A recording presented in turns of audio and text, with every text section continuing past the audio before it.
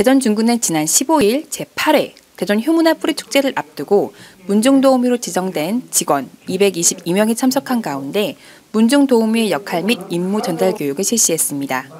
2년 연속 대한민국 유망축제로 선정된 효문화 뿌리축제는 한 단계 더 발전된 축제로 육성하기 위해 기존과는 차별화된 다양하고 새로운 콘텐츠를 준비하고 있으며 오는 9월 23일부터 25일까지 3일간 뿌리공원 일원에서 펼쳐집니다. 박용갑 청장은 우리 효문화 뿌리 축제가 2년 연속 국가 유망축제로 성장할 수 있었던 것은 직원 여러분들의 노력이 매우 컸다며 문중과의 유대 강화를 통해 전국의 많은 문중 어르신들이 참여할 수 있도록 더욱 노력해 줄 것을 당부한다고 말했습니다.